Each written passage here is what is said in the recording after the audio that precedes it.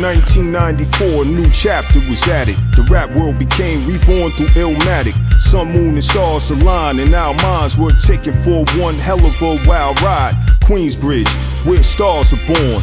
On the map, Marley Marl put me on. I was able to return the favor for his neighbor. Chronicles of bullets caught up in chambers. Blessed chicks, fresh kicks, new cars. Now being re-manifested through Nas. 40 side poet supreme, like water flowing through a ravine. Uh-huh. The chosen one who will redeem the Q barrel. The D's in the blue Camaro. Through the railroad tracks, these tunes burrow. New paths for the dudes on the abs. Salute that man anytime you move Nobody past. does it better than Nas. Nobody does it better than Nas.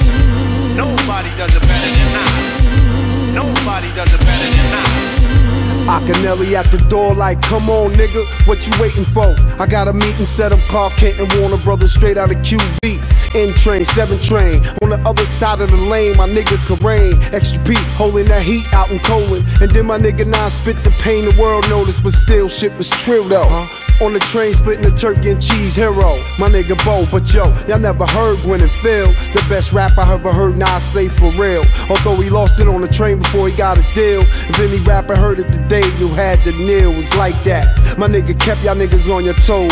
Hooks, styles, and flows and killer shows. Then it was the birth of money, hoes, and clothes. Illmatic, it was written in the scrolls. Nobody does it better than Nas. Nobody does it better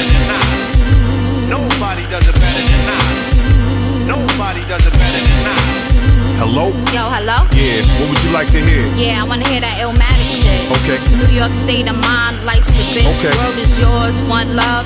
Just play me all of that right there. Alright, yeah. you got it.